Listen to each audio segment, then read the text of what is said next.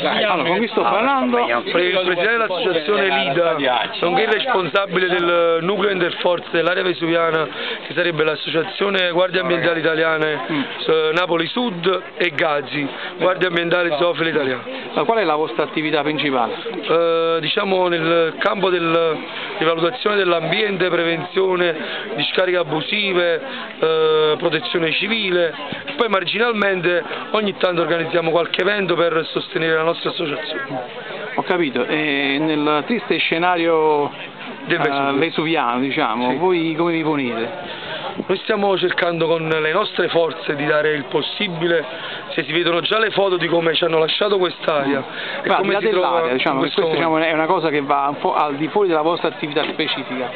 Eh, Allora, noi- diciamo, è una cosa interessante quella di gestire questa ippoterapia, però eh, a me quello che interessa più che altro è sapere la vostra attività sul territorio. Allora, noi oltre a fare la vigilanza in questo momento e a denunciare eh, degli eventi e delle situazioni che incontriamo A, a chi la denunciate? alla Procura della Repubblica Carabinieri e qualche volta anche alla Finanza, eh, alla Forestale, scusatemi, siamo, per il resto siamo legati perché la Regione non eh, ci attribuisce il decreto come guardia ambientale, come lei ben sa si può informare, è tutto bloccato. Abbiamo solo un decreto come guardia ittica che è limitato solo alle acque interne, quindi immaginate nell'area vesuviana le Eh, acque non interne fateci niente praticamente. quasi niente, arriviamo solo a Fiume Sarno oppure nell'area del lago Patria. Per il resto, Saremo teoricamente già abbastanza di fuori. sì, per il vesuviana. resto noi cerchiamo con, nostro- con le nostre forze di fare tutto quello che è possibile per l'ambiente. Vabbè, eh, vabbè. Innanzitutto, vabbè, io ho scritto ultimamente un paio di articoli sul bracconaggio. Ho scritto un articolo su, su Angelo Prisco, Allora, negli anni finanziere scorsi, ucciso probabilmente da, da- da due bracconieri. Allora, nei- e, e io sono stato una- il 27 dicembre scorso sono stato sulla strada di Ottaviano, là, quella che sale verso lo slago della legalità e là sparavano. Allora- Stavo io un poliziotto e abbiamo preso anche il numero di targa. allora, negli anni scorsi, allora, negli anni scorsi eh, la- l'associazione di cui sono presidente eh, si è interessata tantissimo al bracconaggio. Basta vedere su, anche su Striscia la Notizia ci sono molti diciamo, articoli e via dicendo. Poi eh, diciamo che in un gruppo ci, sta chi, ci sono sempre le mele marce. Sì. E per questo diciamo, la Liga Nazionale ci ha un pochettino tagliato eh, diciamo, le ali e nella provincia di Napoli ha ritirato i decreti come guardia zoofila perché sono una guardia zoofila autorizzata fino a qualche mese fa dalla prefettura di Napoli. Non avendo più il decreto, oltre a denunciare e a vigilare non puoi fare altro perché non puoi fermare, non puoi chiedere documenti, è la legge che dice. Ah, ma già questo sarebbe un'opera importante, che potrebbe fare qualsiasi comune cittadino, però Sì. per dire, a maggior ragione voi. vigilanza, vigilanze ne facciamo già in quantità a nostre spese e con il contributo di tutti i nostri volontari.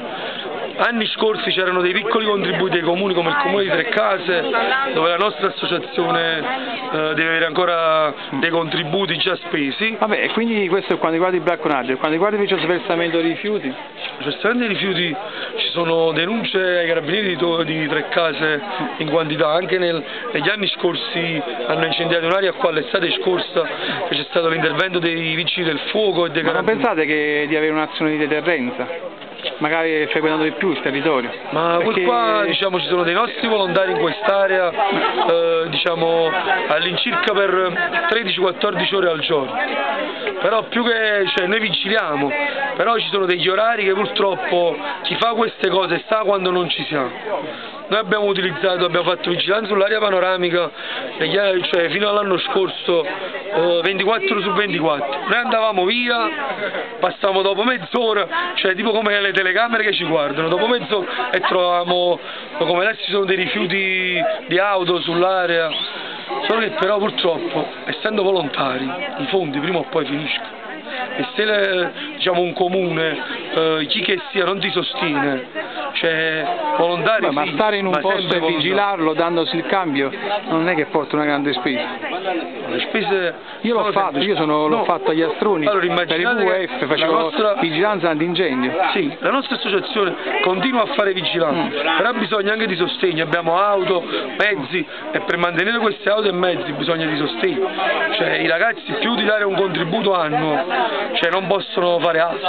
Noi abbiamo chiesto un sostegno a chiunque, non è che chiediamo soldi, noi chiediamo le cose giuste che servono per far andare avanti l'associazione. Io sono d'accordo con quello che dite perché comunque sappiamo benissimo che le istituzioni oltre a non essere presenti sono anche diciamo, piuttosto parsimoniose nel reagire fondi, però io sono anche io un uh, volontario, noi... il club alpino italiano io non vendo una lira, anzi molto spesso c'ha rifondo. Ma neanche noi, noi rifondiamo tutti i giorni. E non per questo voglio dire... Noi ogni giorno, no, ma la nostra attività è sempre continua. Mm. Noi cerchiamo un sostegno per fare meglio di quello che facciamo, perché se uno ha un contributo in più, cioè le cose si possono fare molto meglio, invece di avere una macchina che noi in questo momento ci scadrà l'assicurazione fra poco e sto battendo la testa per tutto, dove come fare per recuperare i soldi, una volta che scade l'assicurazione e l'associazione non ha soldi, quella macchina non potrà più camminare. Cioè, quindi dovremmo utilizzare delle auto personali. È una cosa girare con l'auto dell'associazione dove c'è scritto guardia ambientale vicino e un retendente in più, ma se voi vedete un'auto normale, penso che non ci, uno non ci fa neppure caso.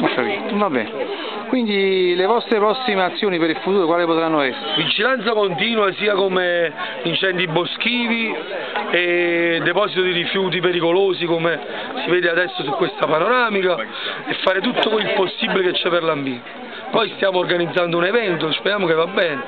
Il contributo che si avrà da questo evento lo investiremo nell'area e per sostenere l'associazione. grazie.